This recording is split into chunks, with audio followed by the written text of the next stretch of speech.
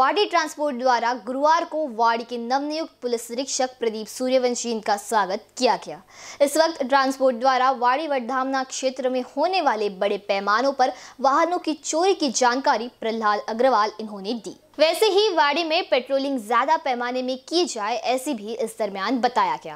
क्षेत्र में होने वाली वाहन चोरी पर अंकुश लगाकर नियंत्रण रखने की अपेक्षा ट्रांसपोर्ट ने की। अवैध पार्किंग वाड़ी की बड़ी समस्या होने की जानकारी भी ट्रांसपोर्ट ने पीआई सूर्यवंशी को दी। वाड़ी वर्धामना ट्रांसपोर्ट क्षेत्र की बड़ी चर्चा बैठक में चली, पर इस दरमियान ट्रांसपोर्ट प्रहलाद अग्रवाल, नरेंद्र मिश्रा, मानसिंह ठाकुर आदि प्रमुखता से उपस्थित थे।